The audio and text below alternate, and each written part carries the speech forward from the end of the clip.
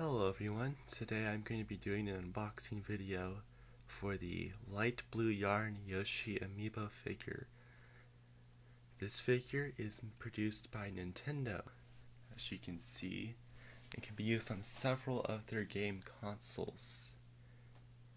I'd like to give a shout out to Willington slash WIL Beckham, who originally purchased this for me as a gift, and I'd like to say thank you and I will eventually put both channels in the description down below or to the side. So let's get to this. So I honestly could package it better but as you can see, but then again, it's a very unbreakable item because it's very soft. So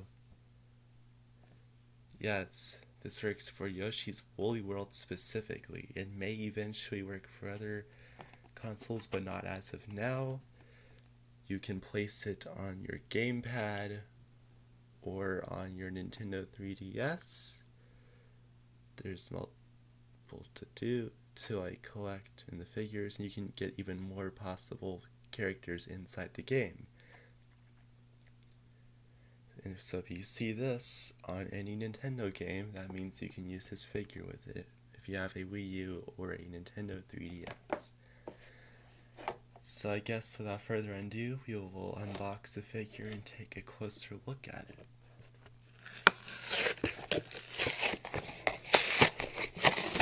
If this was rare, I would not be opening it.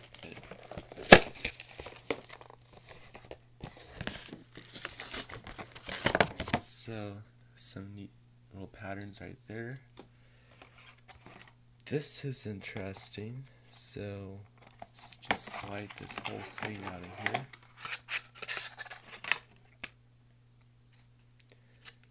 And it looks like there's some kind of tape here, but yeah, I guess this holds it on. Oh, so it slides out. That's interesting. Well, do that later. But yes, this is a amiibo unboxing of the white blue Yoshi Wool figure.